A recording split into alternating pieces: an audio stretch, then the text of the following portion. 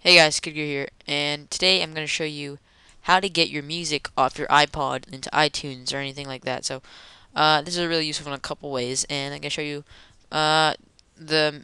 It's pretty much the manual way. There's software that does it, but it costs money. There's great software. I think there's some free software, um, particularly for Windows. I'm pretty sure this will work for a Mac too. So now this can come in handy. Now let's say all your music is on your iPod and your computer crashes, then obviously you know uh, when you get new iTunes, all your music you can access your bought you know the music you bought.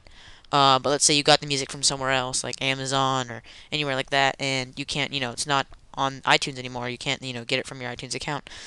Um, well, this is a really great way to uh, use that, and if you've downloaded music too to your iPod, this, you know, comes in handy too. So, um, not only that, if you also, what I did is, see, I have, uh, this is my sister's old iPod, the iPod Nano 2 uh, second generation, and um, I had she had a lot of music on there that came from her computer, and I wanted to transfer it to my iPod. So, um, what I did is I found this cool method uh, to try out, uh, to help you guys out. So, thought I should pass a tip along. So, first off, plug both your iPods in, or if you if you're gonna transfer, you know, the music, or if you just want to, you know, pretty much put it all in your library. Here's what you do. So.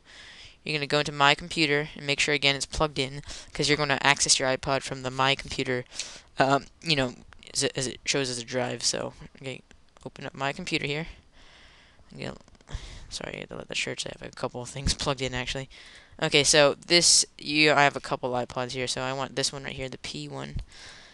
And I'm gonna open this up, and I'm gonna go into iPod control folder, the iPod control folder. You may not see it because it may be hidden, so make sure you go into Tools, Folder Options, and then View, and then you might want to go Show Hidden Folders and Files, or else you won't see it.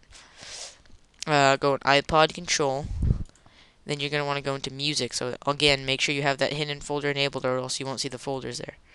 And now these are all songs that you're, uh, they've been, uh, all your songs that haven't been purchased or anything like that from iTunes are in these folders. So well, not, I'm not sure, if, I'm pretty sure all of them are. So uh, you may be missing a couple, but the thing is, all of them will have a weird name like this or you know something like that. And actually, I'm on the wrong iPod, so my bad. Sorry.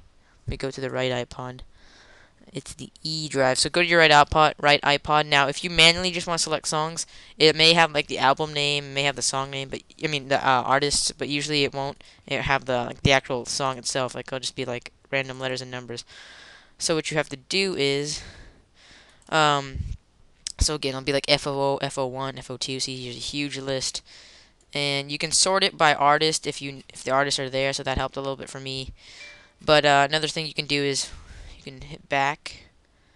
And then what you can do is you go into iTunes you go into file and you go add uh, folder to library. And then what you're gonna do is you're gonna navigate to that section. So you're gonna go to let's go to right here and then go to music. And then basically you're just gonna hit OK and it's gonna import all of that music into your iTunes library. And I have a couple here. I just don't want to dump it all. So that will help you out, and then from there you can manually drag it to whatever iPod you want it to go to. So yeah, guys, that's just a quick tip for iTunes. Hope that helps you out. Hope that gets your songs off your iPod. Uh, just every case you're wondering, or you know, comes to a situation your PC crash, who knows. Anyways, guys, hope you enjoyed. Uh, thanks for watching. Don't forget to check the site at adrianstech.com.